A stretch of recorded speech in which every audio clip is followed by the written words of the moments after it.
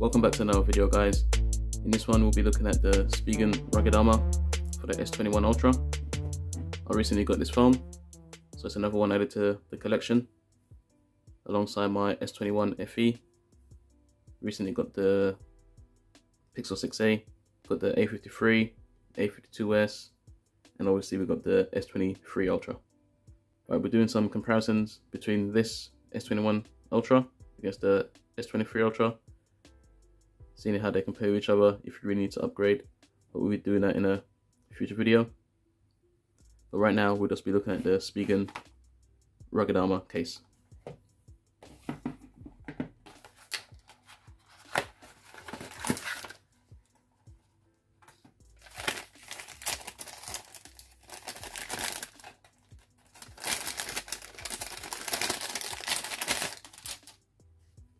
Right, I usually get the tough armor cases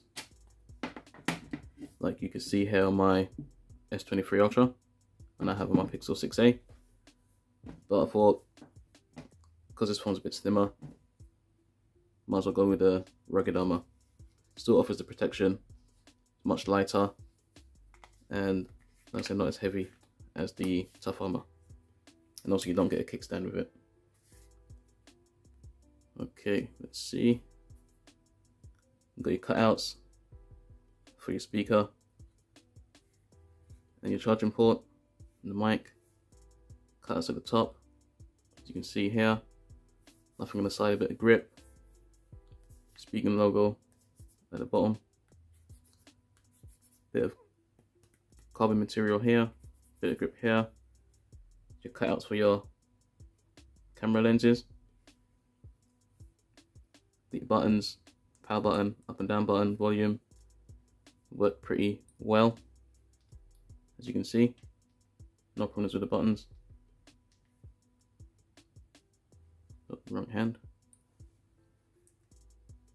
Volume buttons work fine no problems. As with the other Spigen case I've tested when it comes to wireless charging reverse wireless charging they do work no problems. I'll just show you quickly the reverse wireless charging obviously it's a new phone to me so we don't reverse wireless charging in our drop down panel yet. So we should look for it and find it. Where is it? It's wireless power sharing. We'll drag that put it here. We'll turn it on and we'll see uh, what should charge. No problems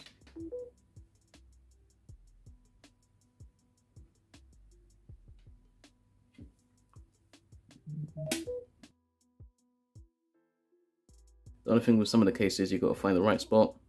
When using the phone itself, you just drop it on. Usually charges, no problem.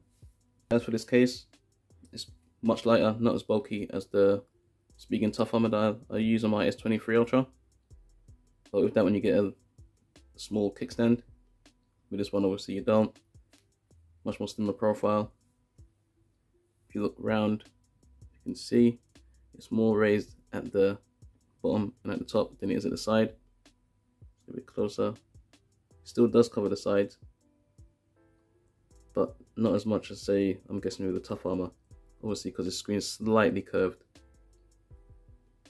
but it does offer a lot of protection.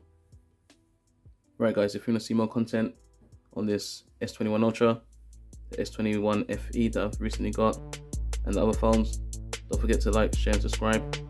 Thanks for watching, and I'll see you guys in the next one.